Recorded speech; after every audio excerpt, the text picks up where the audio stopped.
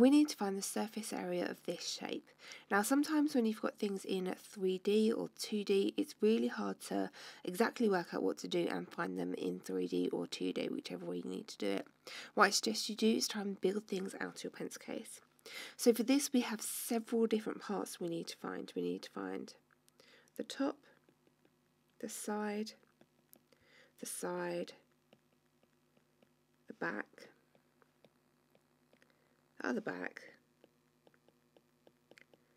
and the bottom. So let's start with the top.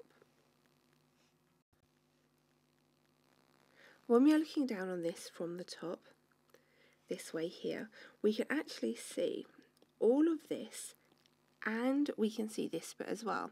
So it's not as complicated as it seems. Because the surface area from the top, the top of this bit and the top of this bit together is just 2 times 2, which gives us 4.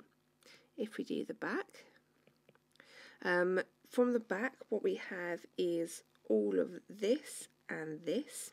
So that is just 4 times 2, which gives us 8. And we actually have two backs, so that gives us 16.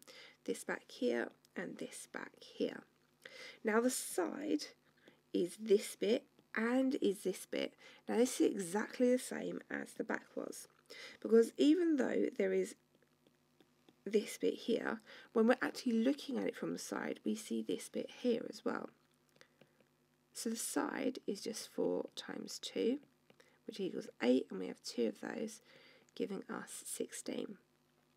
Now the bottom is just the same as the top, 2 times 2, giving us 4.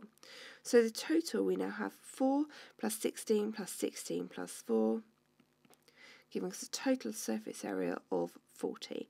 Now I haven't included any units in this, but centimetres squared seems like a sensible one.